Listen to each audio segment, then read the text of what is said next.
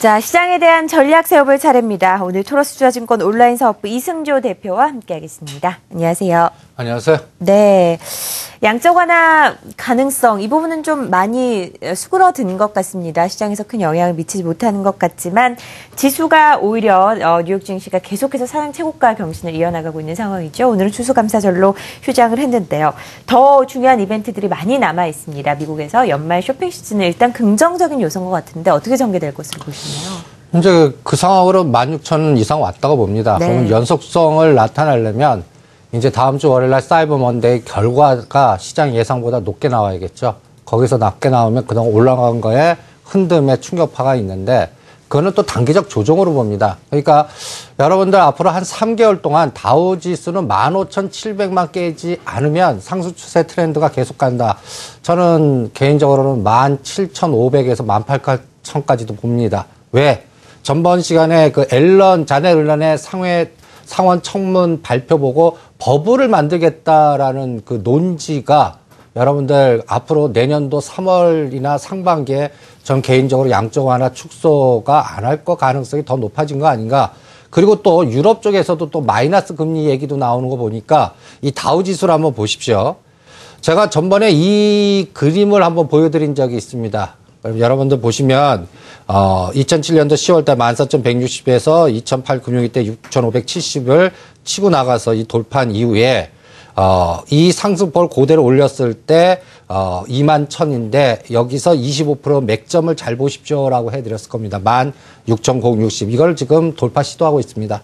그러면 앞으로는 제가 15,700을 그 데드라인 잡고 이것만 깨지 않으면 트렌드는 저는 17,500과 18,000까지는 내년도 상반기까지 미국 증시는 볼 거니까 거기에 출렁출렁 거리면서의 과정이 아, 뭐 사이버 먼데이 결과라든지 이렇게 했지만 트렌드는 계속될 거다. 그러나 이 속도는 어디에서 결정될 것 같냐면 상해 증시도 같이 뒷받침이 돼주는가 여기에서 또 판가름 할 것 같습니다. 그래서 앞으로 읽을 때 여러분들 그 요번에 저점 대비해서 하나의 그 보는 속도 여기서 상대 속도 전략이라고 제가 표현하는데 한번 비교해 보시죠. 10월 9일 날 어, 다우 지수가 14,700을 형성했을 때 짧게는 7, 14, 21 인덱스로 한번 쭉 한번 미리 한번 목표치를 정해 보십시오.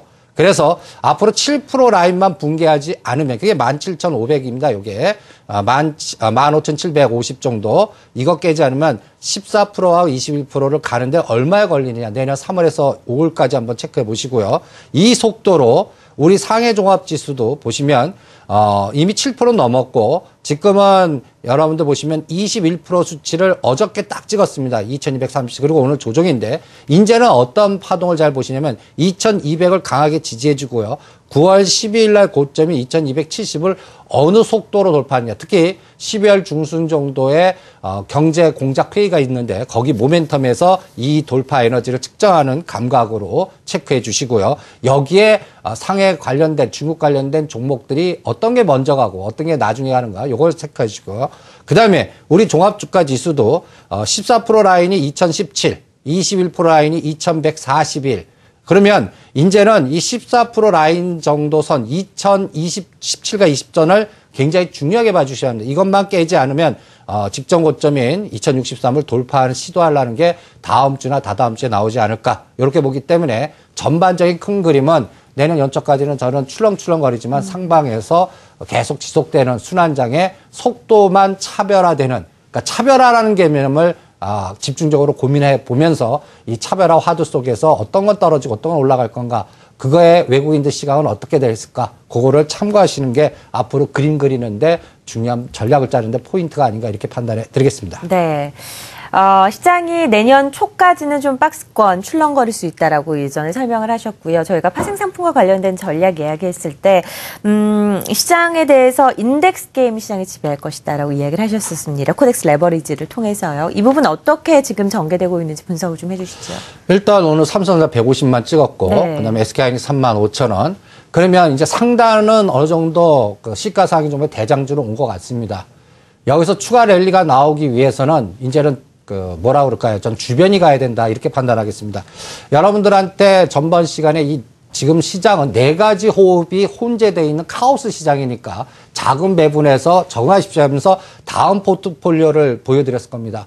내가 1억이라면 거기 4분의 1은 이 인덱스 게임을 하겠다. 그런데 레버리지 게임이다. 삼성전자 올리는 게임이다. 그럼 KODEX 레버리지가 아, 13,000원대를 저항을 하는 지지하는지 지금 12,800원대까지 왔거든요. 그러면 개인적으로는 50% 물량은 매도해서 청산해서 수익을 챙기겠습니다. 그리고 나머지는 앞으로 삼성전자가 150만 원을 저항에 지지가 되면서 여기서 5만 원을 더 올리는지 아니면 지금 엔이 그 100엔까지 갔기 때문에 현대차가 오히려 지금은 오히려 엔달러 그 속도에 따라서 지금 쇼스로 지금 단기적 조정이 나오는데 이게 현대차가 24만 5천 원을 반드시 붕괴하지 않고 지지해주고 터닝 포인트를 잡아주는지 요거를 다음 주에 읽어내는 게 중요하고요.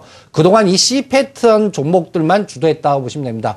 저번 시간에 여러분들한테 화장품이나 생필품, 중국 내수주들, 홈쇼핑 관련주가 C 패턴들인데 이런 종목들이 급등했다면 이제는 B 패턴 종목들의 중국 경기 민감주들이 따라서 올라가주는 그러니까 삼성 SDI라든지 LG화학이라든지 이런 종목들이 다음 주에 이런 순환이 나오는가를 읽어내는 게 중요하고요. 거기에서 모멘텀은 이 발틱 운임 지수가 그동안 2100에서 쌍봉 주지고 지금 2450대에서 쌍바닥 패턴의 옆으로 횡보하는 과정이 나옵니다. 이게 우상향으로 강한 에너지가 나오는지 다음 주에 사이버 먼데이 결과 이후에 12월 중순에 나오는 중국 경제 공작 회의 모멘텀에서 요 에너지를 읽어보고 그래서 오늘 보시면 뭐 에이블 CNC나 아모레지나 화장품 관련된 종목들 그다음 최근에 GS 홈쇼핑이라든지 CJ 오쇼핑이라든지 이런 종목 급등했다면 다음 주는 다음 주는 IT에서 선 못 간 종목들의 부품주 내지는 아니면 중국 경기 민감주가 선순환으로 같이 올라가 주는지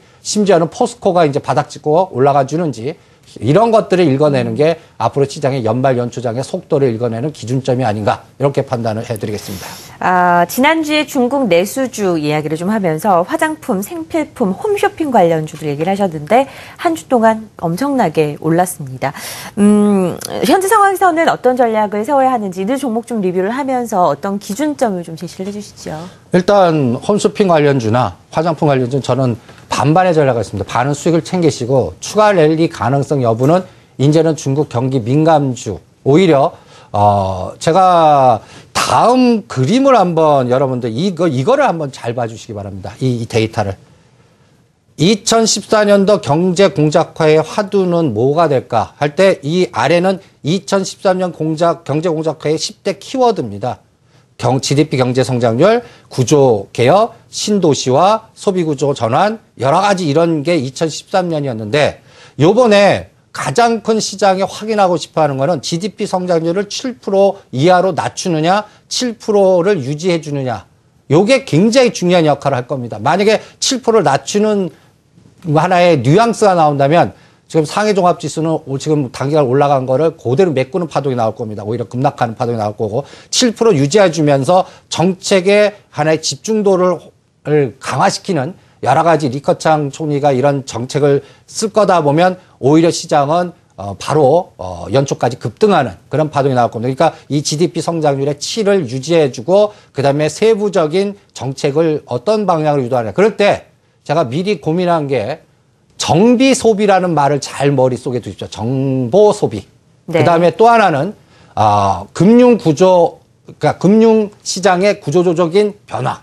그러니까 어떤 면에서는 우리나라의 자본 시장 확대 같이 일단 중국도 어, 위에나 국제화를 준비하기 위한 하나의 구조조정 금융 시장의 하나의 여러 가지 제도적인 변화 요 두 가지 화두를 잘 체크해 주시면 앞으로 중국 시장이 있는데 키워드다. 만약에 긍정적인 변수의 정보 쪽 섹터는 어떤 걸로 움직이냐. 벌써 이미 홈쇼핑 관련주는 거기에 따라서 올라갔고, 이제는 뭐로 확산되냐면 중국도 핸드폰이나 이런 SNS 관련된 또 여러 가지 모바일과 연동된 소비와 관련된 여러분들 뉴스 보면 전에 아리바바가 하루의 매출이 우리나라 돈으로 뭐 5조인가 6조인가 이런 이런 트렌드가 이제 중국 시장도 확산되면서 우리와 연결되는 게 뭘까? 또 하나는 신흥공업 정책.